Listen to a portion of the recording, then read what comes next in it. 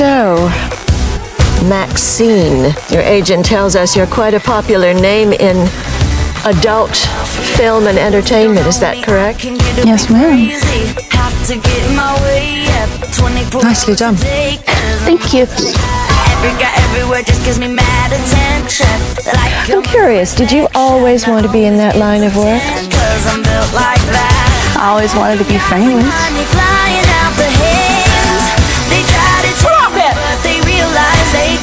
Buster. And every tomorrow is a day I never planned. You're gonna be my man. Name five celebrities who got their start in horror movies. As Jamie Lee Curtis, John Travolta, Demi Moore, Brooke Shields, and Maxine fucking Minx.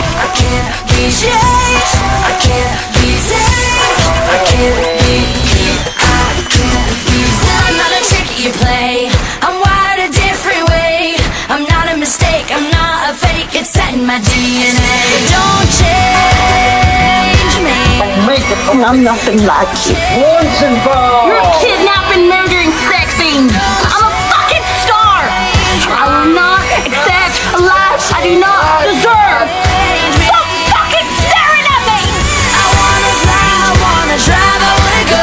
You didn't fail me, Daddy. You gave me just what I needed. Divine intervention.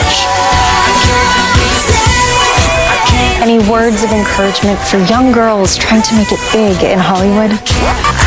Never give up. It's hard work. You've gotta be willing to do whatever it takes.